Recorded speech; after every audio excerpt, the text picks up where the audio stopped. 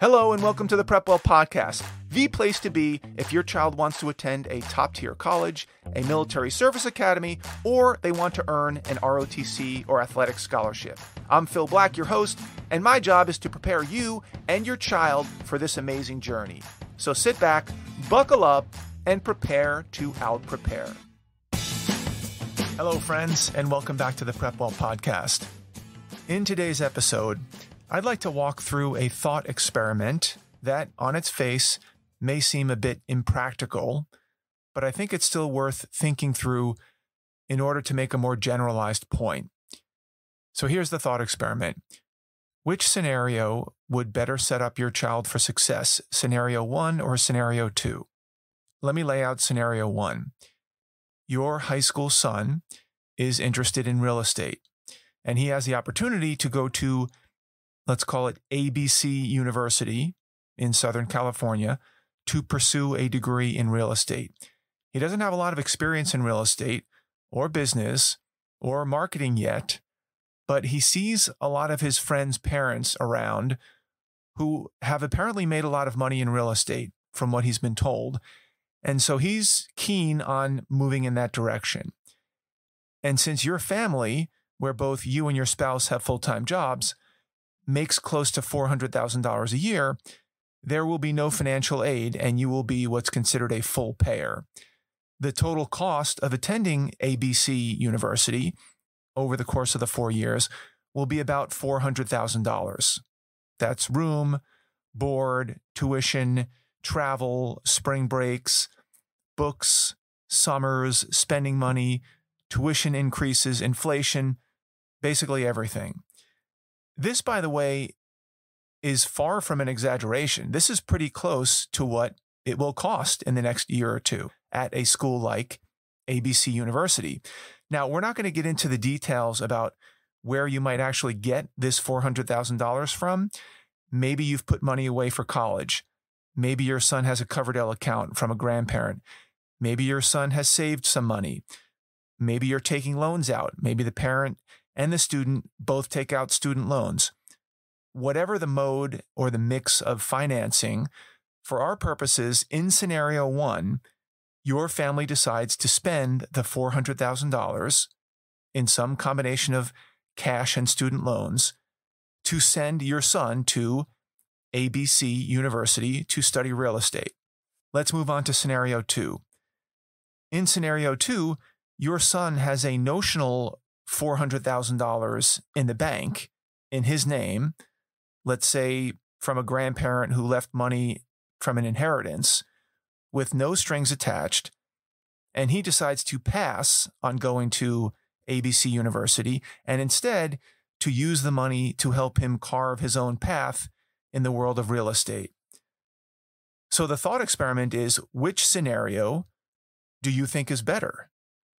Spend the $400,000 on a real estate degree from ABC University or skip college and use the $400,000 to do your own thing, assuming the end goal in both scenarios is to establish a thriving long term career in real estate and not to go to Vegas and blow $400,000 on the blackjack table or to spend the money on cryptocurrency or something. Which would you choose, scenario one or scenario two? Let's walk through a little bit of role playing. In scenario one, where your son goes to ABC University, he will likely learn a lot about real estate and accounting and marketing and amortization tables and commissions and eminent domain and highest and best use principle and plenty of other things with a professor lecturing in front of the classroom. He will probably work on a few group projects, analyze some case studies, take tests and quizzes, maybe even visit a few properties out in town. Presumably, he'll learn how to use a spreadsheet and how to do some financial modeling. A lot of academic work, one would assume, which would be great. And I'm sure he will certainly expand his network of friends and professors and alumni subject matter experts, and maybe even connect with some local real estate gurus He may even get an internship or two over the summers, even in his hometown. After all, what commercial real estate company wouldn't bring in an ABC University junior majoring in real estate to help them run some numbers over the summer? And again, presumably, your son would avail himself to the other typical aspects of college life while at ABCU, including binge drinking and weed smoking and gambling and partying and video game playing and sleeping in and missing class and other forms of debauchery that often define a quote unquote good time on college campuses. In other words, he'll also be getting the quote real college experience, which we as parents all think is so important these days. And then let's fast forward four years. Your son emerges and graduates with a 3.67059 GPA with a degree in real estate from ABCU. And he now, as a 23 year old, begins to embark on his real estate career. Now, in this scenario, the premise was that the $400,000 was left to him by his grandparents. So he doesn't have any student loan hanging over his head, which is a huge relief. And just imagine this same scenario if he had $175,000 in student loan debt, which would certainly be more a more common scenario. And so he starts to pound the pavement looking for opportunities. And he goes on interview after interview after interview. And he's not really getting a lot of traction. It's not that other candidates are getting jobs over him necessarily, but more so that it's just tough to find a job where he is anything more than a glorified assistant to an assistant to the assistant property manager. And it's hard to blame the HR departments because the truth is, your son doesn't have much real world experience. He's obviously learned some academic principles of real estate, but he has little idea of how things really work, how to negotiate, how to assess property values, how to avoid pitfalls, how to source investment capital, how and when to take risk, how to understand the financial markets and interest rates in the real world. And by the way, since interest rates happen to be up, the real estate market is at a low point in terms of activity and opportunities. And this search, with a few missteps along the way, lasts for two years before he lands a reliable job. And he ends up taking an entry level job at a big real estate development company where he sits at a cubicle and runs spreadsheets that manage a portfolio of hundreds of properties. He's basically a glorified data entry guy with a working knowledge of real estate terminology that he learned in college. And he gets stuck in that position for a year and a half before he can't take it anymore. He's not doing anything that he learned about or dreamed about for that matter. He's not making deals. He's not looking for properties. He's not getting his hands dirty. He's not negotiating. He's not making decisions about where to deploy capital. He has nothing at stake and he has little to no responsibility. And so he starts looking for another job in the real estate industry or even a related field because he now realizes that he doesn't have much practical experience and that it might take him 10 to 15 years to move up the ranks in one of these real estate shops if there's any upward mobility at all. And it soon dawns on him that real estate is not a get rich quick scheme that magically appears because you have a degree in real estate. Instead, it's a combination of education and market timing and luck and perseverance and savvy and grinding and risk appetite, access to capital, relationship building, talent, serendipity. And he may soon come to realize that all of those rich parents who look like they don't really do that much actually have a storied past with a lot of starts and stops and wins and losses and ups and downs, luck and misfortune. Because as you and I know, this type of financial success later in life rarely comes easy. Let's move on to scenario number two. In scenario two, your son decides to take the $400,000 that he would have spent on ABC University and do something different with it. And here are some of the things that he does. Number one, he puts 200,000 of the 400,000 away in a money market fund yielding 4%. He spends $50,000 on a down payment for a rundown duplex in a less desirable part of town where he can live in one unit while he remodels the second unit. And for this, he's carrying a $400,000 mortgage. He spends $1,500 and four months getting his real estate license, all part of an online tutoring course. He spends another $1,500 and another four months getting his real estate appraisal license, which also includes an online tutoring course. He spends $4,000 on a beat up Ford Ranger that he can use to haul around his tools and his materials. Over the first three months, he spends $12,000 on his own personal tools that he buys, and he uses YouTube videos to learn how to do some of the more basic repairs and remodels. He does some demo work, he does some drywall, some painting. He then pays $15,000 to a contractor who helps him with the kitchen remodel in the empty unit. And he watches the contractor do the work and slowly begins to pick up some of the skills. He shadows the contractor every step of the way and even helps him out. He then spends $5,000 on plumbing materials and invites a friend over who knows how to redo a bathroom. He spends another $5,000 on flooring materials and invites a family friend over who helps him install the flooring. And after spending close to $30,000 on the remodel, that second unit is ready to rent out. So he takes out an ad, he finds a renter who's paying him $1,600 a month, which of course begins to help him pay down that mortgage. He then begins to remodel the unit that he's been living in for the last nine months. And $30,000 later, that second unit is now ready to be rented. And he finds another renter for another $1,800 a month, which, when you put those two together, covers his entire mortgage and then some. So by now, he has positive cash flow from the duplex. He's learned a lot about construction and design and tools and material sourcing and legal paperwork and how to deal with contractors and how to find tenants and market trends and how to deal with banks and how to ask for assistance. He's also begun to build up his credit, and now he has a relationship with a local banker.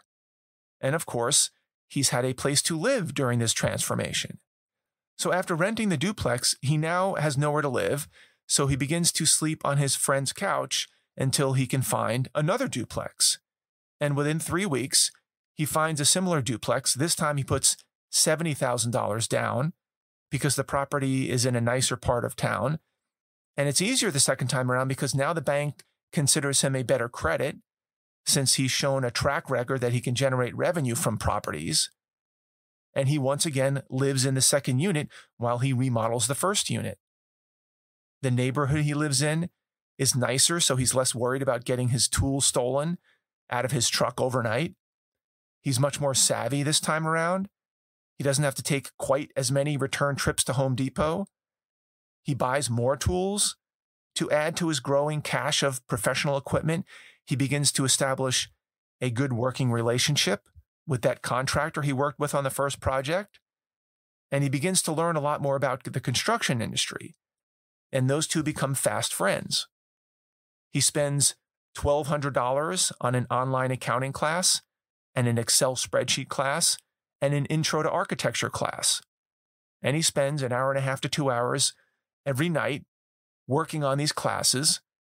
And within nine months, he has a much better grasp on how to run his books, how to manage his money, how to use space more efficiently, how to minimize his taxes. At this point, your son is 21 years old. He then runs into some issues with the city for not pulling the right permit, and he gets hit with a big fine and a $7,000 job to redo the water line into the house that he screwed up. He also finds out from the inspector that he needs to upgrade his electrical panel, which will be another $3,000 that he wasn't counting on. He then gets another $800 fine for not pulling a permit for solar panels, which he had no idea was a thing. And then one of his tenants stops paying rent, and he has to pay a lawyer to help him navigate the complicated eviction laws in the state. That whole debacle sets him back five grand. And to make some extra cash to make up for these missteps, he starts to work with his contractor doing basic construction work, drywalling, light electric, framing, plumbing, whatever his contractor friend needed. And his friend is paying him $30 an hour. And of course, he's still learning a lot.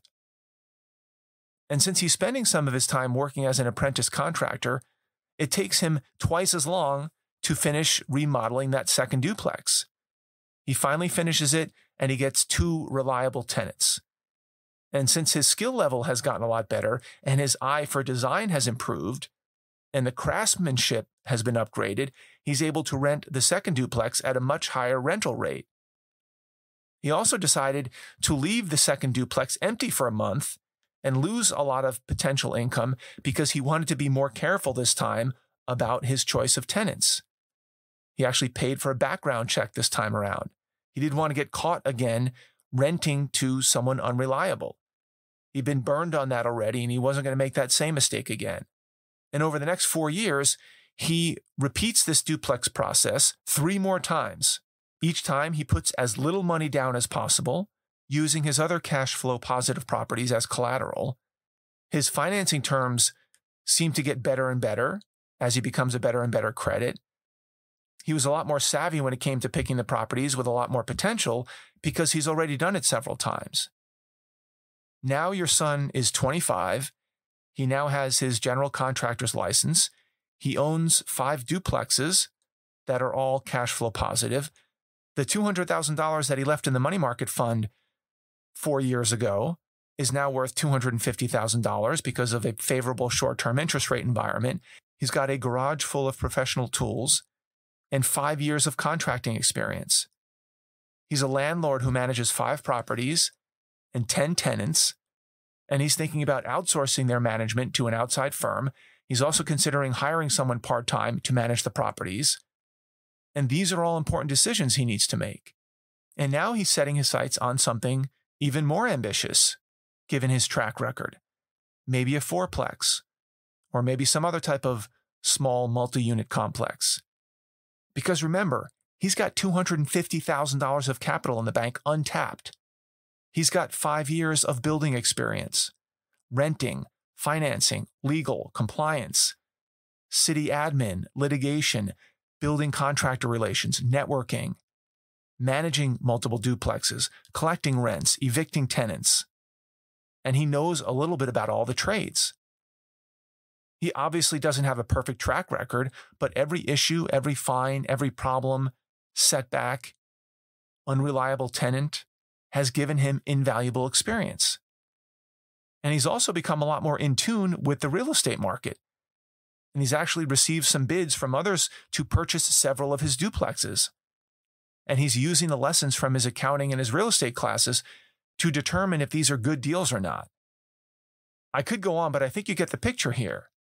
Think about where the ABC University graduate from scenario one is at age 25 sitting at home looking for entry level real estate jobs compared to the scenario two student who took all of the money that would have gone to ABCU and instead put it to work in the real world, both on the investment front and the tangible building and learning front. And I think we would all agree that as I've laid out the facts, that there's no comparison here.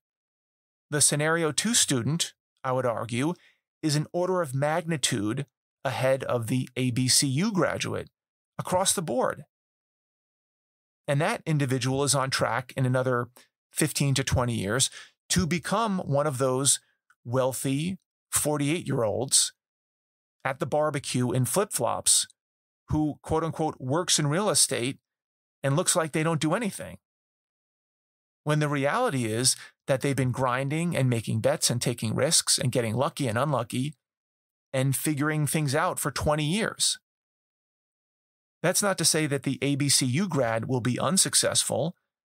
The ABCU grad may indeed get lucky and find himself, after a decade of bouncing around, in a small real estate firm that mentors him and gives him opportunities to learn and be challenged and make his own way. but it likely will not be fast nor easy. And he very well may end up as a middle manager at Cushman Wakefield for the rest of his career. Not that there's anything wrong with that. One of the takeaways here is that $400,000 is a lot of money to spend on college. And if you take the time to step back and wonder how far your child might go if you handed them the $400,000 and told them to skip college and get right into what they really want to do. And yes, of course, this is certainly higher risk and scarier and more unconventional. But $400,000 gives them a lot of runway to figure things out. And I'd like you to reflect on this thought experiment in relation to your son or daughter. Let's say your daughter wants to be a filmmaker. Would it be better for her to spend $400,000 going to NYU to major in filmmaking? Or would it be better for her to bank $350,000 for a year and spend $10,000 on a suite of medium end audio, video, and editing equipment and $20,000 for an around the world plane ticket where she goes out on the road, out in the world, seeking out stories and experiences worth filming. And if that doesn't work out, she could move to Hollywood, live in a cheap apartment, and work every different type of job in the industry grip, lighting, assistant to the assistant director of photography, editing, props, showrunner, everything until she gets an idea of how the industry works. And she'd still have $300,000 sitting in the bank making interest for when she's ready to plot her own path. And she could do that until she finds out what she really likes to do. The amount of money gives her a lot of breathing room. Or if your son wants to work for ESPN, how about skipping college, starting at the bottom in the newsroom, sweeping the floors, taking opportunities when they pop up, adding value when appropriate, working on stories on your own or video edits, or researching interesting sports stories that he could pitch to someone in the elevator. Sooner or later, if he's talented, he'll move from the mailroom to a gopher for one of the main talents. Then he'll get put on as a research assistant to one of the assistant producers, and he'll break a story about some little known statistic that no one's ever thought about. Then he'll find himself on the production team, then working the cameras, then going to assignments with the on air talent. He's spending practically no money. I mean, he has modest living expenses, and that's about it. He puts the other $350,000 in an interest bearing account so that when he's done learning everything that he can from working at ESPN, he has money. He has $150,000, say, to invest in a digital startup that he and his friend dream up that they want to go and launch online. Maybe it's a kid's version of ESPN, for example. And he's off to the races, actually building, doing, risking, trying, pushing. Compare this path to going to XYZ college and majoring in sports management. And four years later, leaving with a sports management degree with zero money in his pocket and starting from scratch. Again, not that there's anything wrong with that, but where does more growth happen? Where does he get more experience? Where would his career accelerate? And I know there are a lot of assumptions that go into this thought experiment. It's certainly not often such a cut and dry decision. Most families don't have $400,000 sitting in cash to give to their child on day one if they chose scenario two. That's not particularly realistic, but I hope it makes you think. Ironically, if you don't have the $400,000 in cash to give your child to make this decision, and they're forced to take out loans to pursue scenario one, it makes matters even worse. And this is what normally happens. Remember, scenario one assumes that the student graduates with no debt. How many times is that happening? Imagine what life would be like for that student who is, instead of $0 in debt, is $200,000 in debt when they graduate and still moving home and looking for that entry level job. It's even worse. So the bottom line here is $400,000 is a big financial commitment. If you could wave a magic wand and have that type of money, $400,000 in cash upfront, would you still recommend that your son or daughter go to ABC XYZ University? Or would you rather see them take that money and see how far they could go pursuing what they really love without the college degree? Whether or not this is a realistic scenario is not really the point. The point is to think long and hard about where your child will be when all is said and done after graduating from XYZ college that costs $400,000, whether that's paid up front or over the next 30 years in the form of student loan repayments, especially if they're majoring in something like history or communications or ethnic studies. Are you setting your child up for success? Does your child know what they're getting themselves into? Do they know the stakes? Do they know what they are paying for? Maybe if they knew how much this quote unquote college experience actually costs them or you as their parent, and what they could do alternatively with that $400,000 in the real world, maybe they would pay a little more attention to their studies and major selection and summer opportunities and relationships and a little bit less attention to the football tailgate, getting wasted two or three times a week, smoking weed, playing video games, watching movies till 3 a.m., missing classes, and using Chat GPT to write their term papers. Just a thought. Paying for college is not like it used to be. These days, if you're asleep at the wheel and not paying attention to what's going on, and just taking loan after loan after loan with no plan for the future, you may be making a mistake that you're going to regret for the rest of your life. Because remember, once you take on student debt, that debt never goes away. Not if you're unemployed, not if you declare personal bankruptcy. It follows you for life no matter what. If your child is in a position to take the $400,000 of upfront cash option instead of opting for the generic four year college education from nowhere special university, and he or she has a rough idea of what they want to do with their life, and they're motivated, and they've shown a pattern of smart decision making, what would you recommend? Would you force them onto the college conveyor belt, or would you release them into the real world? I'd be curious to hear what you guys think about this choice. So please put some comments below and give me some feedback. Take the $400,000 in cash or go to ABC University and major in real estate. Which would you do? That's all I've got for you today, folks. Thank you for tuning in. Thank you for your continued support. In case you didn't know, this podcast supports Prepwell Academy's online mentoring program, where high schoolers and their parents receive weekly videos from me, where I break down important topics and give timely advice about college admissions, particularly for top tier colleges, service academies, and for ROTC and athletic scholarships. Many parents who listen to this podcast already have their high schoolers enrolled in Prepwell Academy, which is great. If you don't yet, please consider enrolling them. Registration is only open during freshman or sophomore year. After that, we no longer accept new students. So if you have a freshman or a sophomore in high school and you like what you're hearing in these podcasts and you'd like to get more content like this, tailored specifically for your child and for their specific grade with their specific goals in mind, go to prepwellacademy.com and enroll today. If you know a parent with a middle schooler or high schooler that might find this helpful, please share the episode with them and give us a rating if you have a minute. Word of mouth and positive ratings help our podcast reach a much wider audience. Of course, if you have questions, comments, or an idea for an upcoming episode, please reach out to me by email, DM me on Instagram, check out our blog, our Facebook page, connect with me on LinkedIn. I would love to hear from you. Until next week, goodbye, good luck, and never stop preparing.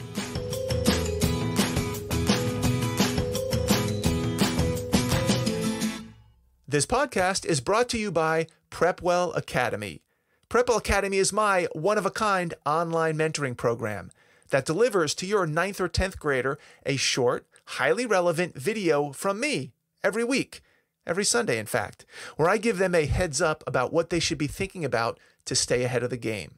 To get these valuable lessons into your child's hands, please head over to prepwellacademy.com and enroll your child today.